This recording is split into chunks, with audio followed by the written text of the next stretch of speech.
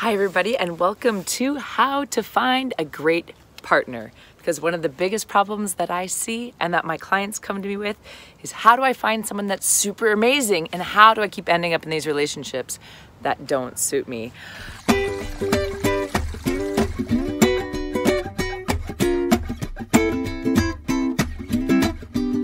can't wiggle too much.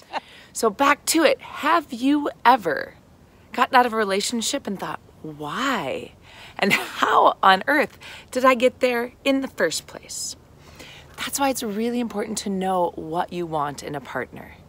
And I'm not talking about like, oh, I hope they ski and I hope they're not alcoholics. I mean, what are those things, those natural values that they actually have in the world? So when you see them interact with other people, what are those traits that they carry naturally? So, of course, they're going to have with you.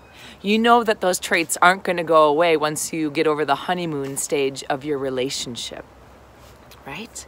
So, imagine now you're watching your partner and seeing them do in the world supernaturally the cooking or the treating people with respect or caring about the environment or being active or being dedicated about money or whatever it is that's a really strong trait that you want in a really great partner, imagine you see that doing them doing that on their own.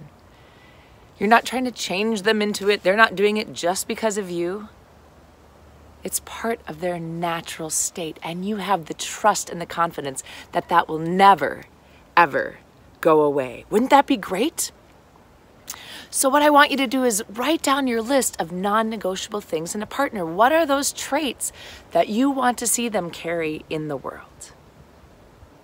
And the ones that you have to have, the ones that you can't live without, the ones that you know will contribute to your own sense of well being, your own sense of safety, your own sense of connection, and your own sense of safety within and equality within the relationship. So list those things. And if you're in a relationship right now, get a bird's eye view. If you asked a friend, if you asked a therapist, if you asked an outside person, are you getting those things? Does that person you're with have those traits already? The answer should be unanimously yes. And if not, maybe you need to reconsider or maybe you need to look at other ways that they suit you. But the second problem that I see is that when we start writing down our list of what we do want in a really great partner, it ends up being really superficial. So I hope they hike, I hope they bike, I hope they, you know, aren't messy around the house. How about big things that include that? So maybe they don't hike. And you might miss out on a great partner because they don't hike, but they're super active in other ways. Maybe they windsurf. Maybe they run all the time. Maybe hiking something that you can introduce them to because they like being active, because they like exploring. So instead of looking at these little things that they do, what are the big things that they are naturally? Right? How do they carry that? So now imagine you're with somebody who doesn't want to change you and hold you back, but who you don't also have to change. And their traits, their way of being in the world, their things that are on your list also help you grow. So now maybe you didn't ski and they didn't hike, and you get to share that with each other. And now you're growing something together, and you can really develop a really great partnership with shared common values and interests. Wouldn't that be great? So do that. Take that list for yourself. And if you're not sure what you want, if you're like, you know, I've never had that great of a list, I've never had that great of a relationship, write down all of the things that were bad about your old relationship. So maybe they were messy, maybe they were disrespectful, maybe they drank too much, maybe they whatever, and turn those into positives. Tip three. First, have you ever given someone the benefit of the doubt? thought, well, they don't really have that, but maybe they're just having an off day. Maybe it was my fault they didn't communicate well. Maybe it was my fault. Maybe it was a misunderstanding. I should have communicated better. I should have been more clear. And you take on these red flags as if they don't exist. Have you ever done that? Even just a little bit? Ignore the signs or maybe hope the relationship would work out, even though there are these things saying, mm, I don't really know if this is the right thing for me. So, what if there were no red flags? What if, as soon as you started seeing that your potential partner doesn't have these amazing traits that you want in the world, that you stepped out. That you said, hey, you're really great, but you're not the right partner for me. Because wouldn't it be great to have a partnership where everything brings you closer, or at least most of the solid things bring you closer rather than fall apart?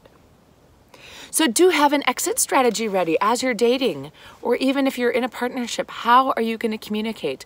This is what I need, and I'm sorry. It's just not going to work out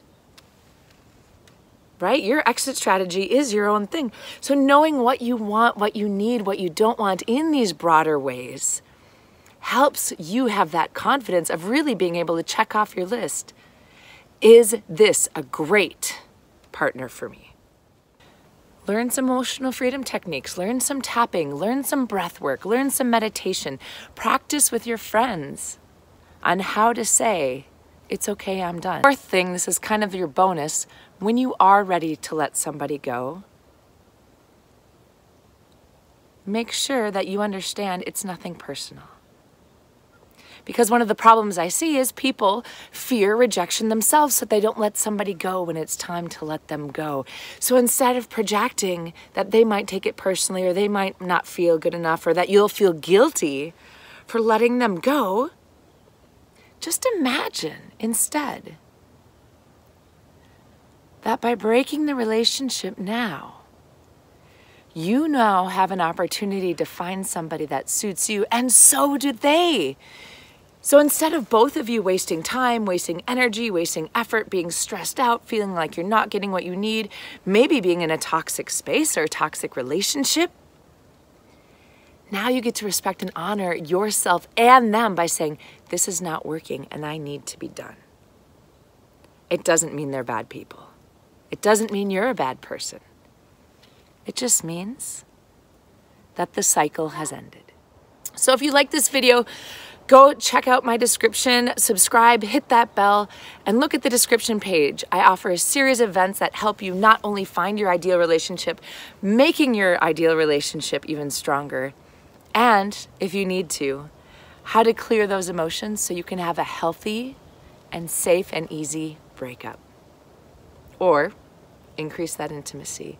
I'm Dawn Bennett. Thank you so much for watching, and we'll see you next time.